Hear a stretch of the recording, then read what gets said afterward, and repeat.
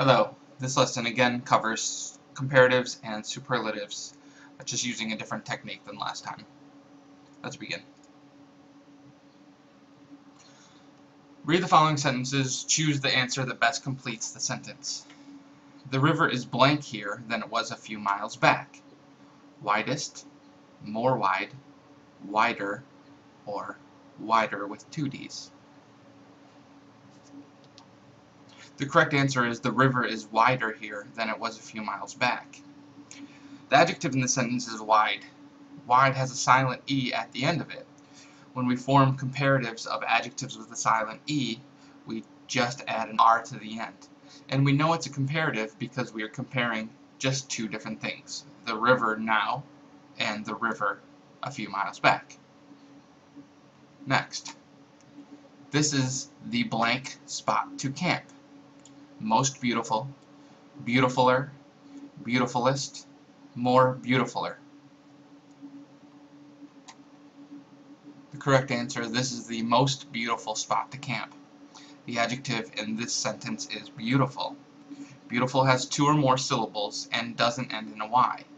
We know we're forming a superlative here because of the definite article the. When we have the or the in a sentence, we know that it's going to be a superlative and not a comparative. So when we form the superlative of adjectives like this one, we add most before the adjective. I can't start a campfire because this is the blank wood I have ever seen. Wetterest, wettest with one T, most wet, or wettest with two T's.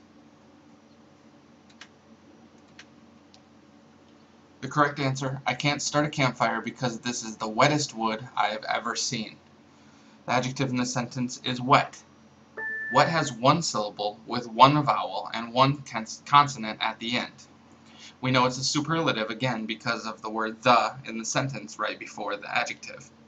When forming the superlatives of adjectives, like this one, we double the final consonant and then add est to the end. One more example. I must be blank than you because I can't stay awake for another ghost story.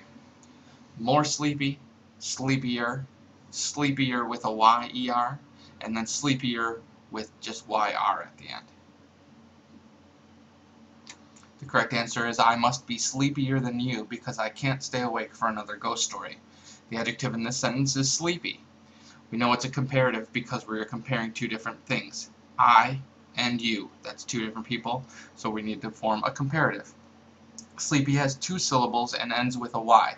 When forming the comparative of adjectives like this one, we change the Y to an I, and then we add ER.